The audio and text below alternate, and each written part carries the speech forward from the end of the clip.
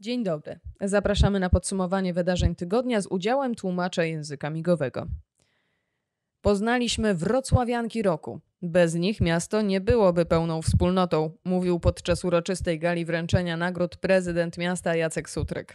Laureatkami konkursu organizowanego przez Wrocławską Radę Kobiet zostały Anna Kowalczyk-Derlenga, Wanda Ziembicka-Has, Małgorzata Piszczek, Bożena Ryszawska i Justyna Pelc.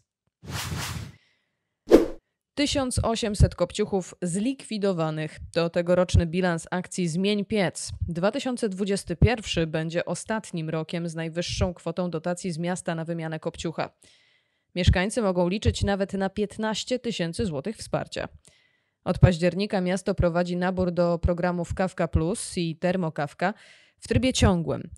Od 2014 roku we Wrocławiu udało się zlikwidować ponad 8600 starych pieców. Do wymiany do 2024 roku są piece w 18 tysiącach lokali. We Wrocławiu zgasło światło.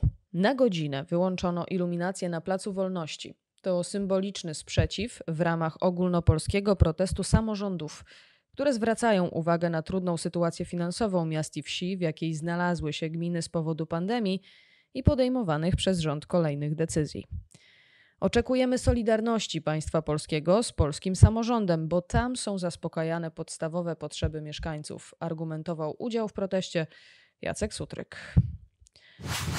Baza prezentów z Wrocławia już gotowa. Książki, biżuteria, świąteczne kartki i ozdoby, zabawki czy vouchery na różne zajęcia. Do naszej bazy wpłynęło ponad 200 ciekawych, nieszablonowych pomysłów na świąteczne podarunki.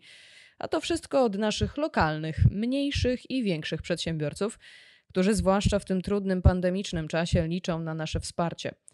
www.wroclaw.pl tam znajdziecie wyjątkowe pomysły na prezenty prosto od wrocławskich twórców.